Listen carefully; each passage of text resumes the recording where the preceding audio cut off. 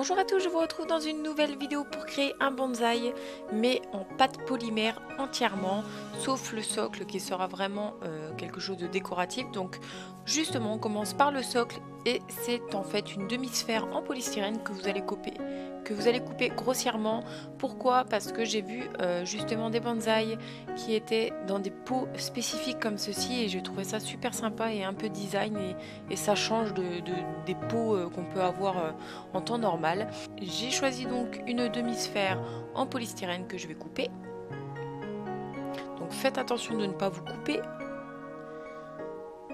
Vous décrochez et là vous allez retirer toutes les petites particules qui sont restées et qui sont mal coupées. Bien entendu vous coupez tout le tour de l'autre côté et vous faites un peu la forme que vous désirez. Un petit coucou de mon chat aussi. Ensuite, une fois que le socle en fait est fait, vous allez prendre un petit rond, un petit donut et vous allez le coller dessus pour que ça soit beaucoup plus stable.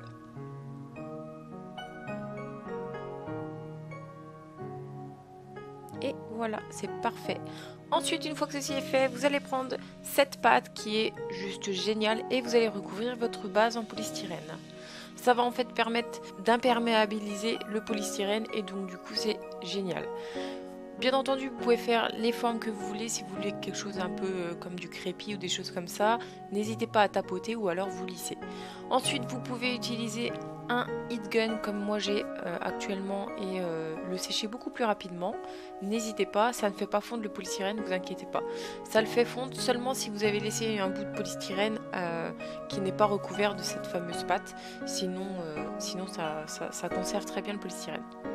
Donc Bien entendu, vous pouvez laisser blanc ou alors le recouvrir d'une autre peinture. Moi, j'ai pris marron, mais c'est à vous de voir. Vous pouvez également faire chauffer la peinture pour pouvoir la sécher plus rapidement. Ça vous permet de gagner du temps. Voici le résultat. Vous pouvez également mettre plusieurs couches. Moi, j'ai décidé de le laisser comme ça. Étant donné que l'intérieur, on ne le voit pas, ne vous embêtez pas à le peindre complètement. J'ai également fait mon armature avec du papier alu comme ceci et j'ai fait en sorte d'épouser euh, le fond de mon pot. Vous prenez trois couleurs de peinture polymère donc dans les tons marron et vous allez recouvrir votre base en alu. Pour le moment, ne faites pas quelque chose de parfait, vous verrez à la fin. Vous allez lisser tout au long de votre création, ne vous inquiétez pas. Également aussi, faites les racines. Les bonsaïs ont beaucoup de racines qui ressortent, donc c'est très important. Utilisez un shaper, je vous le conseille, pour pouvoir lisser les deux pattes et faire en sorte qu'il n'y ait pas de raccord.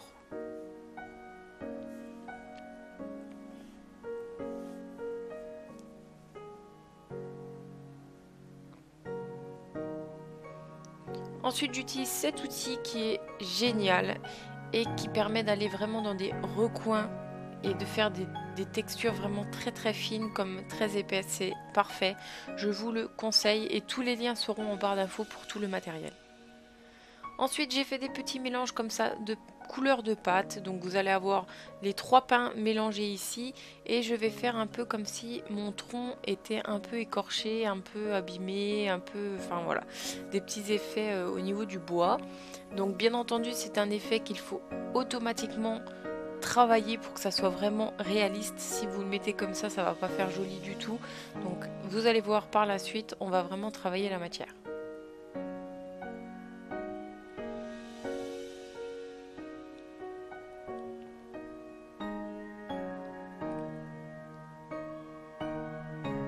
Donc là, on va essayer de fondre un peu plus les bords. Mais juste après, donc je vais utiliser, là je vous montre tout simplement un nouvel outil qui est des dotting tools mais sous format euh, pratique on va dire que je n'ai jamais vu auparavant. Donc pareil tout ça, ça sera en barre d'infos, je le trouve génial. Et là je prends en fait l'outil le plus petit qui va me permettre d'écraser un petit peu la pâte polymère mais de manière à ce que ça soit vraiment très précis. je, voulais vous montrer pour une fois le système de comment ça se resserre, ça se dessert et comment, comment sont cachés les, différents dotting tools. Donc voici, c'est génial, je vous le conseille franchement. Donc là, C'est tout simple, on va faire des petits mouvements sur la pâte pour pouvoir fondre les deux pâtes en même temps. Mais également prendre un tout petit peu de pâte comme ceci et de l'accrocher tout autour, vous voyez, euh, pour faire un raccord en fait, euh, comme si l'arbre était écorché. Ça fera beaucoup plus réaliste. Donc bien entendu, on ne va pas laisser tout ça autour, on va le retravailler juste après. Donc là, je vous montre vraiment en détail. Il ne faut pas quelque chose de parfait, ne vous inquiétez pas. Ce petit arbre, qui est relativement petit mais qui a une taille à peu près réelle, c'est quand même un projet qui est très long, donc armez-vous de patience. Le résultat, je pense, vous plaira à la fin. Je trouve ça super mignon, donc euh, n'hésitez pas à prendre votre temps. Donc voilà, vous pouvez voir qu'on a l'impression qu'il est un peu ouvert et à la fin on mettra de la mature pour faire quelque chose de plus réaliste encore. Donc là j'ai fait à peu près le même effet juste au-dessus mais en beaucoup moins travaillé puisque ça va être principalement caché par les feuilles. Et bien entendu, je rajoute un bout d'armature. Donc si vous pouvez faire toute votre armature en même temps, c'est le mieux. Mais euh, vous savez que vous n'êtes pas bloqué pour faire l'armature juste après. Une fois que vous avez fixé ceci, vous allez mettre donc de la pâte sur les tiges. Et voici ce que ça donne. Donc là, bien entendu, vous pouvez voir qu'il y a des branches de différentes couleurs. C'est pas important puisque tout va être recouvert de feuilles. Mais c'était pour donner des quelques petites nuances. Même si ça va pas être visible énormément, je voulais vraiment quelque chose d'un peu plus nuancé. Et ensuite, vous passez tout ça au four. Et voici ce que ça donne. Et on va coller maintenant la base en alu, donc dans le pot. Donc bien entendu, vous pouvez utiliser une colle blanche ou alors le pistolet à colle, c'est vous qui voyez. Oui, oui, j'ai mis la dose. Oui, oui. ne m'en voulez pas. Voilà. Donc, bien entendu, il faut pousser au maximum le papier alu pour que ça épouse vraiment la forme de votre socle. Préparez la mousse pour cacher le papier alu. Mais avant ça, je vous le conseille, vous faites comme vous voulez, mais je vous conseille de peindre le papier alu puisque si vous ne collez pas malencontreusement la mousse correctement, il se peut que on voit le, papier aluminium, donc ça fera pas très joli et ni très réaliste, donc je vous conseille de faire comme ça. Et ensuite, on prend son pistolet à colle, on en met tout simplement sur le papier alu et vous allez coller votre mousse. Et bien entendu, cette mousse est une véritable, ce n'est pas une imitation, c'est vraiment de la vraie pouvez en trouver très facilement chez Créomax.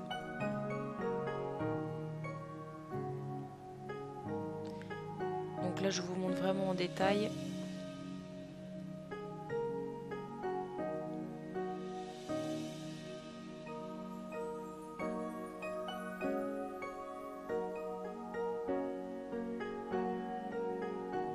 N'hésitez pas à faire ressortir les racines, je trouve que ça fait encore plus réaliste après, c'est chacun ses goûts. Je trouve ça juste beaucoup, beaucoup plus réaliste si vous faites comme ça.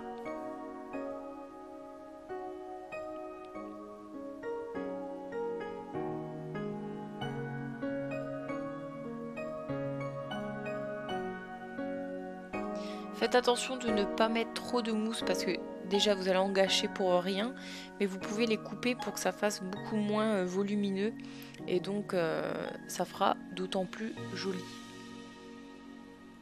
Ensuite, une fois que tout ça est fait, on va prendre des plaques de texture de chez Anico, donc My Mandarin Duck, des petits emporte-pièces en forme de goutte et vous allez voir que nous allons faire toutes les feuilles. Donc vous aplatissez votre pâte euh, avec votre pasta machine pour avoir une pâte vraiment identique au niveau de l'épaisseur. Vous prenez un des tampons qui vous le plaît le mieux et vous allez tamponner grossièrement tout partout. Ensuite, vous emporte-piécez tout partout, mais uniquement sur les feuilles pour que vous puissiez avoir des petits marquages tout partout. Et euh, ça fera beaucoup plus réaliste. Donc vous verrez à la fin, ça peut paraître bizarre, mais ça marche très très bien.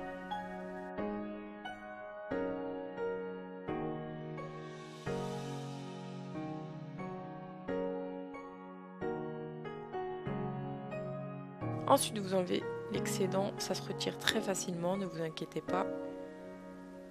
Vous pouvez ajouter du pigment également pour faire quelque chose de plus réaliste, parce que les feuilles dans la vraie vie ne sont pas vertes comme ça, je vous, le, je, vous rassure. Hein. Et également essayer de faire des petites textures comme ceci sur les côtés, je trouve ça encore plus réaliste du coup. Bien entendu, tout ça c'est facultatif, si vous n'avez pas envie, vous ne le faites pas. Et ensuite, une fois que vos feuilles sont faites, vous passez tout ça au four. Pendant que c'est en train de cuire, on va peindre et faire des petites nuances d'ombre, euh, éclaircir certains endroits du tronc pour que ça fasse beaucoup plus réaliste. Pour cela, j'utilise Maze Ink, c'est les trois couleurs que j'utilise le plus ces temps-ci. Et elles sont parfaites pour faire des effets réalistes sur, euh, sur les créations. Ensuite, une fois que vos petites feuilles sont sorties du four, vous prenez l'e-ink, donc vert, et vous allez en mettre un peu partout. Bien entendu, il faut faire l'autre côté, mais si vous en avez oublié à peindre, ne vous inquiétez pas. Pendant que vous les collez, vous pourrez les repeindre une fois qu'ils seront collés dessus. Vous pouvez voir également que j'ai mis de la mousse sur les branches. Pourquoi? Tout simplement pour faire quelque chose de plus volumineux. Et maintenant, vous prenez votre colle et vous les collez une par une. Donc c'est long, faites attention de ne pas vous brûler, mais le résultat sera beaucoup plus réaliste.